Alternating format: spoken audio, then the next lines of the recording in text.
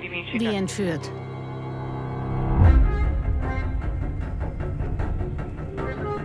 Jemand kam ins Haus.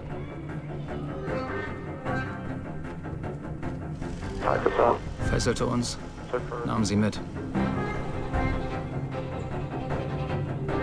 Sie melden sich jetzt erst?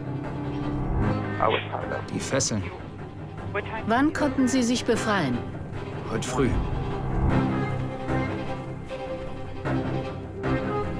Ich war betäubt.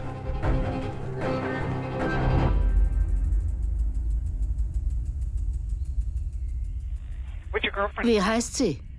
Denise. Und Sie? Aaron. Okay, ich schicke Ihnen Hilfe.